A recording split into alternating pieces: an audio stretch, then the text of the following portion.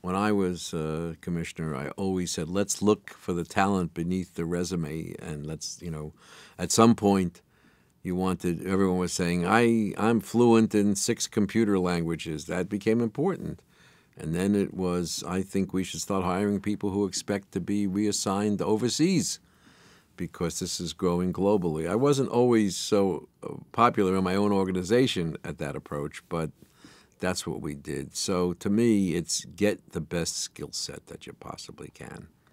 And always keep your eyes open and read an awful lot, everything you can get your hands on, and watch for the right connective tissue.